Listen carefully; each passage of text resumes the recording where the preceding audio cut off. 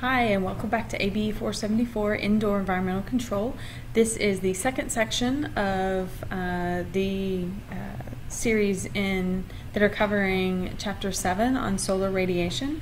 And in this section, we're going to cover uh, the relationship between the Earth and the Sun and time. So let's go ahead and start by thinking a little bit about the Earth and the Sun. Specifically, we're going to talk about uh, the sun's position in the sky. And the fact that as we orbit around the sun, the position in the sky changes. Um, so if you want to take a look at figure 7-1 in your textbook and follow along, this is going to be my test of art skills for the day. Actually, we're going to test them a few times today. Um, and I will do my best to, to talk and look at things, but if you want to see a little better drawing, you can uh, go and visit the um, uh, figure in your text. so we tend to break down uh, the Earth's uh, orbit around the sun into four main sections. And this is the axis of the Earth rotating around. So we have what's called solstices. So summer solstice is June 21st or 22nd each year. And our winter solstice.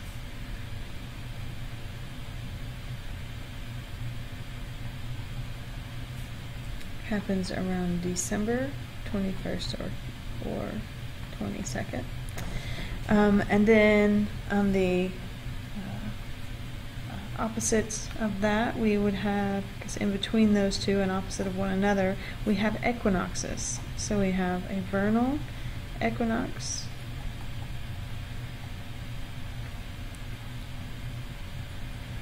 that happens on March 21st. And we have an autumnal equinox that happens on September 22nd or 23rd each year. And in between these, the Earth continues to follow along its orbit around the Sun. These just have very specific uh, and special characteristics in terms of uh, their occurrence and their, their placement, the placement of the sun in the sky when that happens. So let's take a, a moment and look at what do we mean by equinox? So when we say equinox, it literally translates to mean equal nights. Meaning that there when there's an equinox, there's 12 hours of daylight and 12 hours of dark.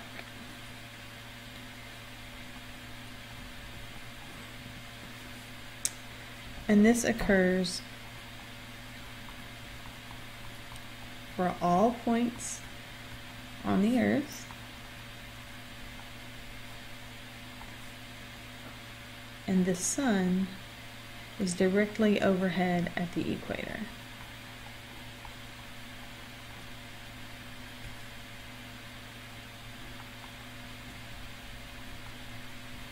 Let's take a quick look. So, when there is an equinox, the sun with respect to the earth is such that we're spinning and spinning and spinning, but the you have equal nights, 12 hours a day and 12 hours a night, everywhere on the Earth's surface, so all points on the surface. And the sun is directly overhead at the equator. Okay.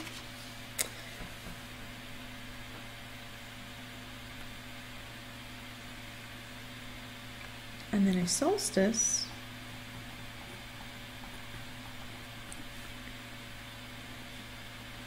literally translates to sun standing still.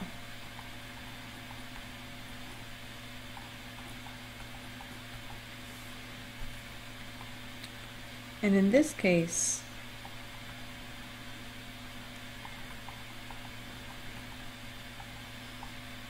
the sun is directly overhead at the Tropic of Cancer at noon.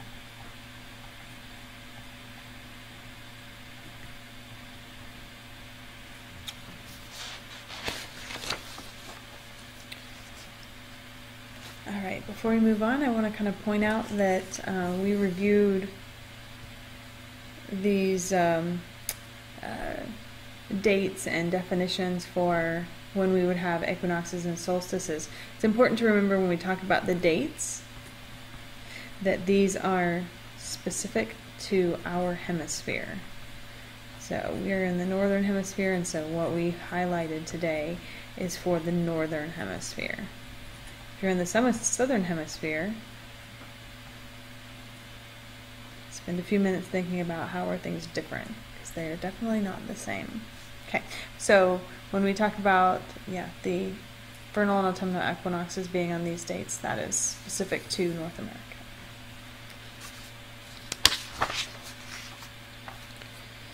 So let's take a look uh, in a little closer detail at what we mean whenever we're talking about the equinox and the solstice. Typically, let's start with the solstice, or let's go with the solstice. So during a solstice, you have um, the Earth, which is rotating on an axis, like so. Um, and we have a plane that is parallel, if you will, to the sun's rays, which are coming toward the Earth's surface. So these are the sun's rays.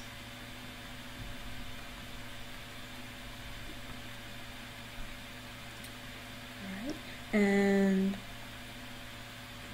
this represents the tilt of the Earth. So this section is the amount between the line that is parallel to the line that the uh, sun's rays would be coming from and the tilt of the earth. So tilt 23.5 degrees uh, and this is for the summer solstice. So if you can imagine, the sun's rays are coming across and uh, at the Tropic of Cancer at noon, the sun is directly overhead. Uh, for the winter solstice, I'm just going to draw it the other direction.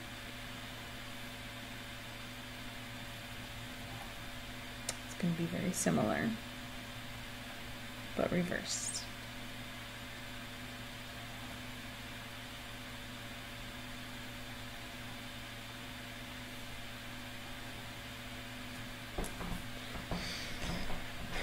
Okay, and so as a result of this tip and the spin, um, the position of the sun is going to change, right? So depending where you are on the surface of the earth, and as you spin around this axis, the position of the sun's rays towards you changes.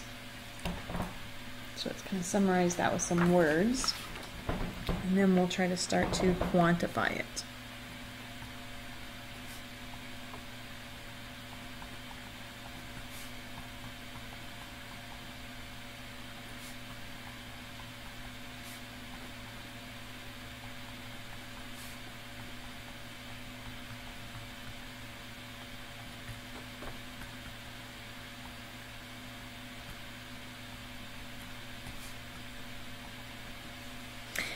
And so, depending where you are on the surface of the earth, it's going to make a difference.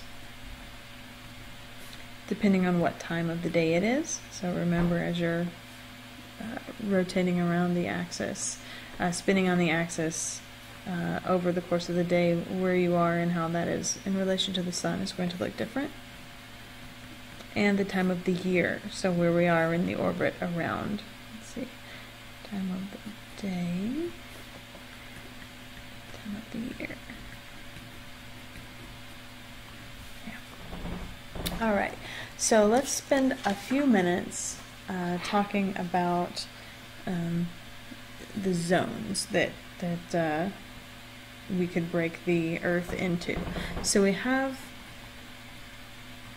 the torrid zone, which occurs between 0 and 23.5 degrees latitude. So here's what we're getting ready to start doing is drawing bands around the Earth and talking about the commonalities within that band. So in the torrid zone, this is the region between the Tropic of Cancer, the Tropic of Capri or the Tropic of Capricorn and the equator. All right, so region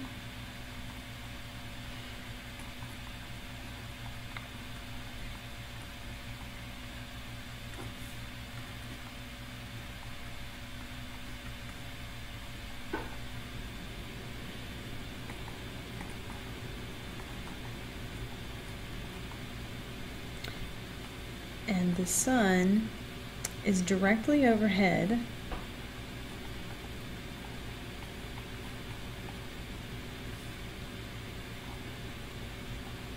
at the zenith, and we'll get to what that means when we talk about solar angles,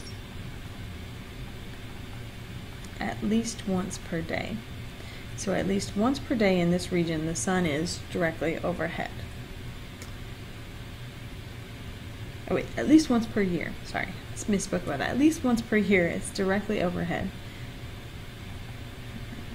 Year. There we go. All right.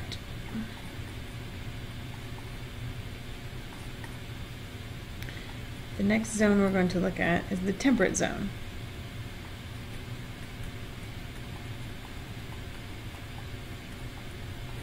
It's 23.5 to 66.5 degrees latitude.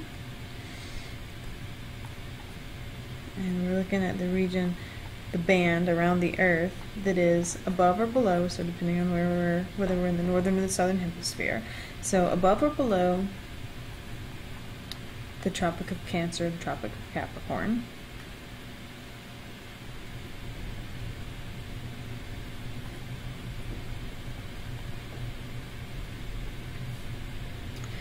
Um, and it goes from there up to the Arctic or Antarctic Circle, depending again on whether you're northern or southern hemisphere.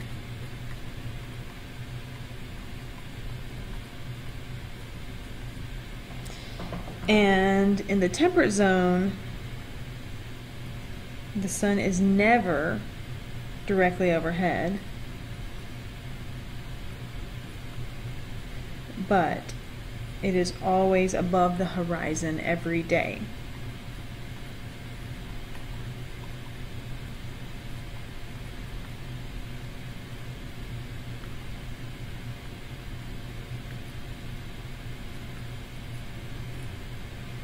Alright, and then the next zone we're going to look at is called the frigid zone. Sounds cold, right? Yes.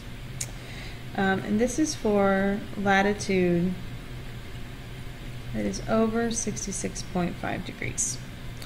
Um, this zone is going to be the band around the Earth that is located above or below the temperate zone, so all the way to the pole.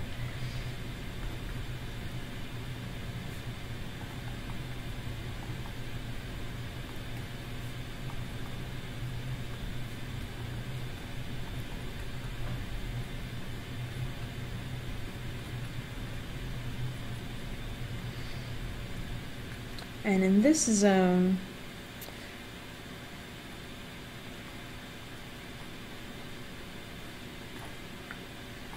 sun is either below or above the horizon.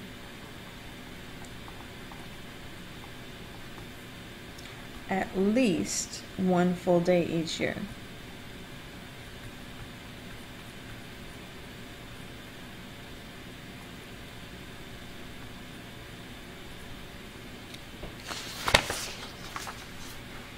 Okay, so what does all that mean? Let me get that up there so you can see the frigid zone. So we have the torrid zone, the temperate zone, and the frigid zone.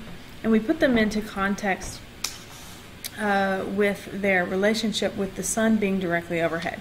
So if you are in the torrid zone, which includes the equator, the sun is going to be directly over your head at least once per year. And if you're in the temperate zone, it's never going to be directly over your head, but it will always be above the horizon every day, meaning there'll be a sunrise and a sunset every day. And if you're in the frigid zone, which is outside the temperate zone and goes all the way to the poles, Um, the sun uh, is going to be below the horizon line at least one full day each year, and it's going to be above the horizon line at least one full day each year, meaning that you will have at least one full day that you don't have have sunshine, and you will have at least one full day that you don't have dark. Okay, so that's what those mean. Now we're going to, to take that, and the next thing we're going to talk about is start talking about time. So, how do we measure time with respect to the position of the sun? So, we're used to looking at time on our, our clocks or our watches or our cell phones. Um, and we're going to put that into a little bit of context. And we're going to talk about how do we normalize time so that we can use it in our calculations of solar radiation. So, where does time come from? Why do we even need to have time? And essentially, um, the way we measure time is with respect to the rotation of the Earth. So, our uh, clock is on a 24 hour cycle, and it takes approximately 24 hours for the Earth to make one full rotation. So, that is the base for um, our system of time. And if we want to take a look at that, in terms of what that means, um,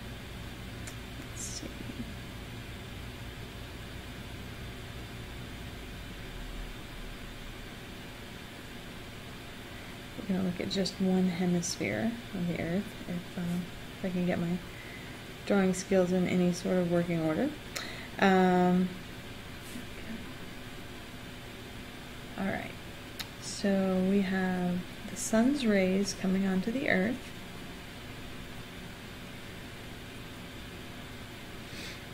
And we have the Earth, which is rotating, and it's rotating at 15 degrees every hour.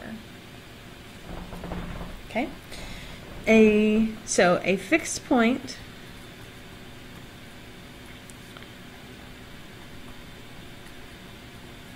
on the Earth's surface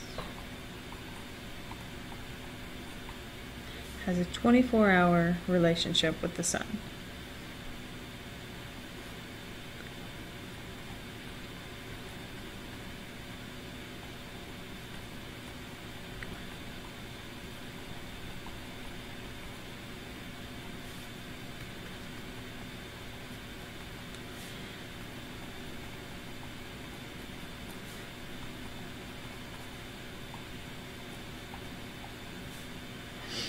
And the Earth is going to be divided into a 360 degree circular arc using our longitudinal lines.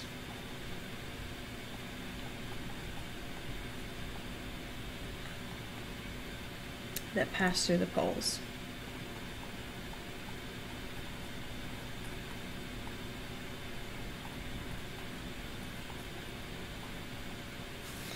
and as we mentioned up above, but we'll write it out a little bit more longhand here, 15 degrees of longitude is equal to 1 24th of a day, which is one hour.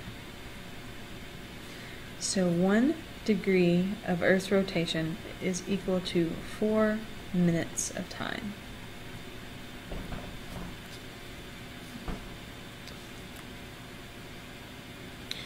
And another way to take a look at that is that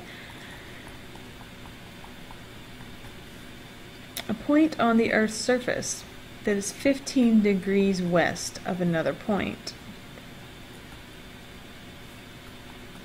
will see the Earth will will see the the sun in the same position one hour later. So if you have two points that are 15 degrees uh, difference from one another, the and, and they're due due west uh, of one another, we'll see the sun exactly the same exactly one hour later.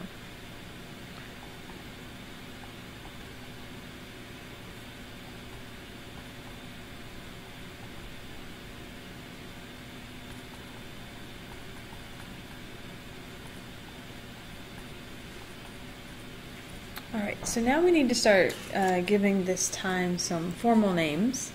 Uh, so we are going to first um, discuss coordinated universal time.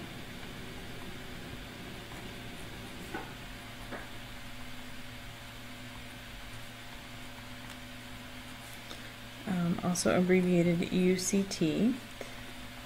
Also more commonly known as Greenwich Civil Time.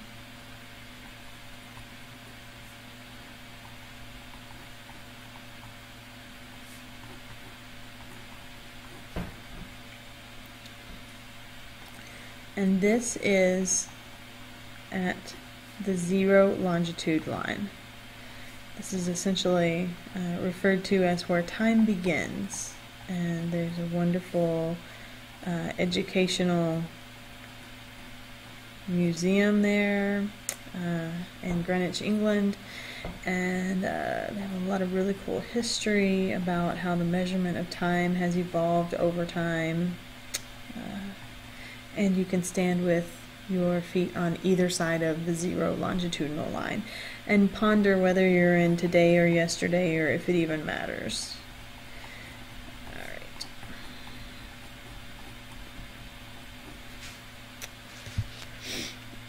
Okay, so this is kind of our, our base zero is Greenwich Civil Time. Now we also have local civil time abbreviated LCT, um, and this is determined by your location.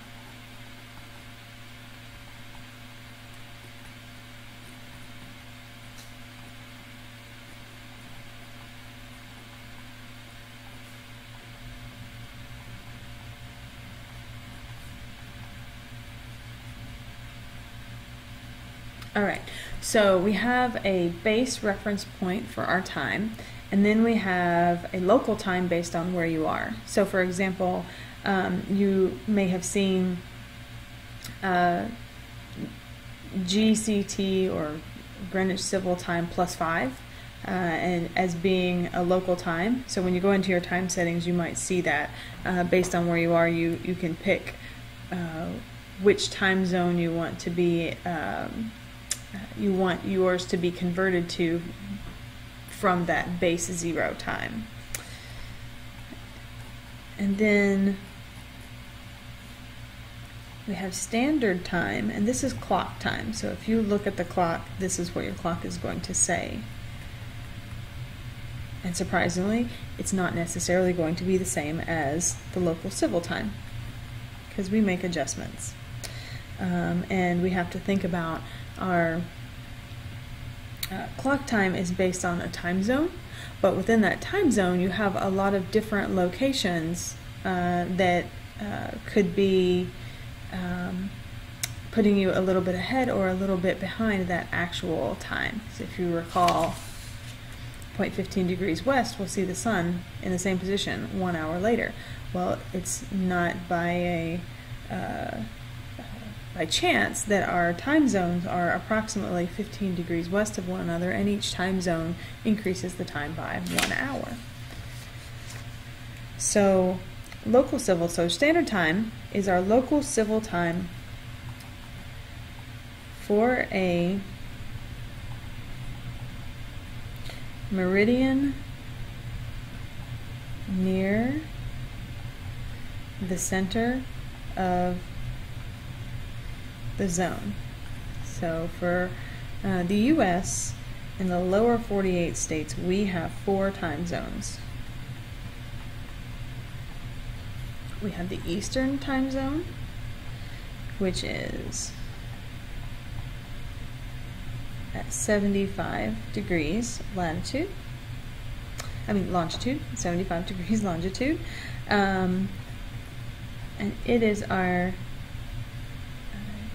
Greenwich time minus 5. And then we have Central Standard Time. And this is where we are at the University of Illinois. Uh, that is at 90 degrees longitude. GMT minus 6 hours. So we're 6 hours behind Greenwich, England. MST Mountain Standard Time. and it's at 105 degrees longitude, and it's seven hours behind our standard.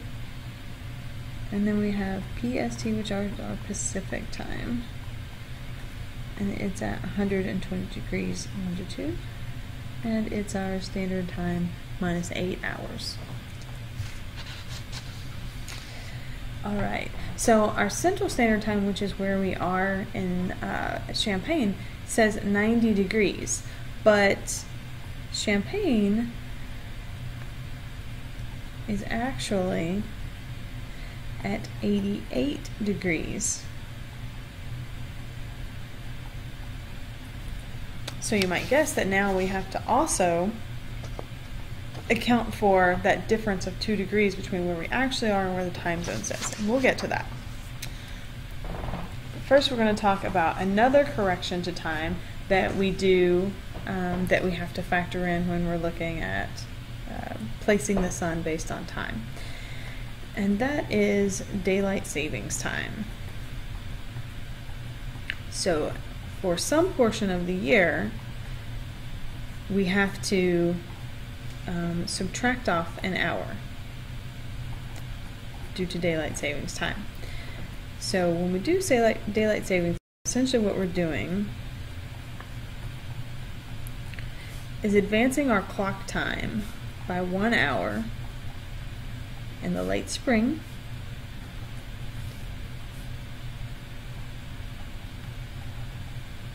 keeping it through the summer and removing it in fall, but we'll keep it through early fall. fall. So daylight savings time is our standard time, which we don't have an abbreviation for because we're only going to keep it for a few minutes, uh, which is our local standard time.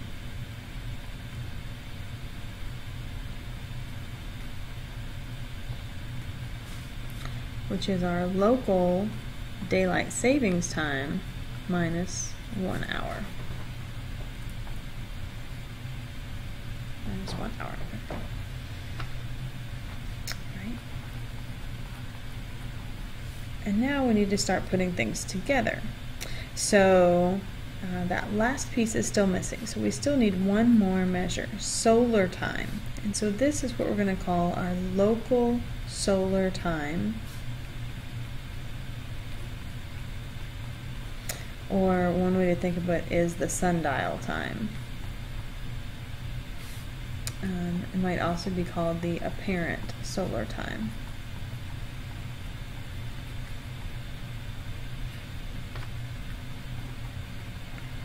And this is time that is measured strictly by the position of the sun. So, not specific to where you're located on the Earth's surface, but specific to the um, position of the sun in the sky.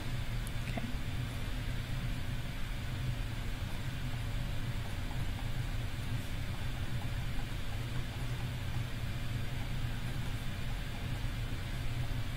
And now at this point we shouldn't be too far off from it with our um, standard time, which is now accounted for daylight savings, and it's accounted by by the uh, for the time zone that we're in. So we shouldn't be too far off, but we still need to make a little bit of a correction. So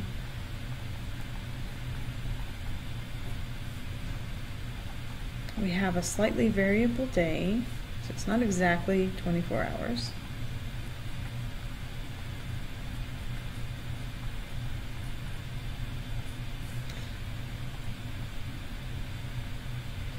It's based on, yeah, due to uh, the irregularity of the rotational speed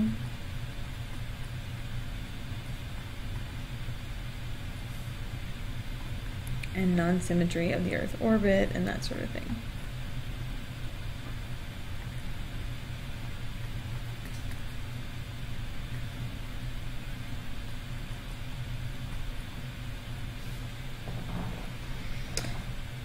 All right, so we need to um, come up with a way to make all of our different measures of time valuable to us for understanding the uh, relationship of the sun and the earth. So we're going to use this um, equation of time in order to give us a measure of time that we can use moving forward. And essentially what it does is it is a, a correction um, so that we can go from our um, local civil time to our local standard time.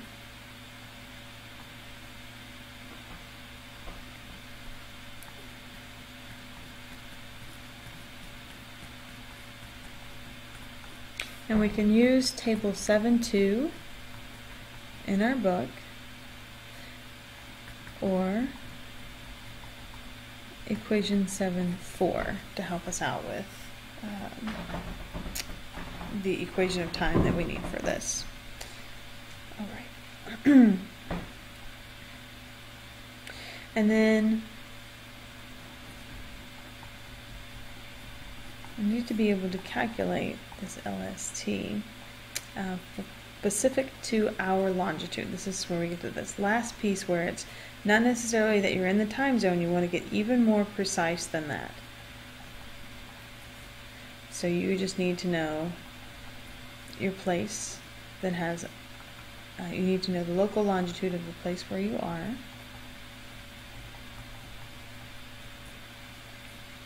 And then we can put the pieces together uh, in our uh, equation. So one of the things I don't really like is that they didn't give a variable to the standard time. Uh, so I just abbreviate standard time in there. And it's the local daylight savings time minus one hour. So if we're not on daylight savings time at that time, you just put the time in for the standard time. And if we are on daylight savings time, you need to subtract off an hour Okay, local longitude minus our longitude for our uh, standard um, time zones.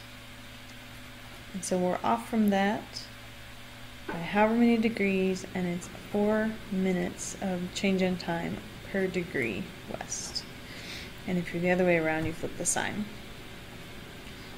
Plus equation of time, which we just talked about in the prior statement. All right. So this gets us to a point where now we can uh, have a measure of time that's reflective of specifically the position uh, of the sun in the sky. Uh, so we've corrected for uh, the time zones, we've corrected for time of the year, and we've corrected for daylight savings. So at this point, um, we are uh, wrapping up that, that wraps up the second section on earth sun and time and the next section we're going to cover is the third section on solar angles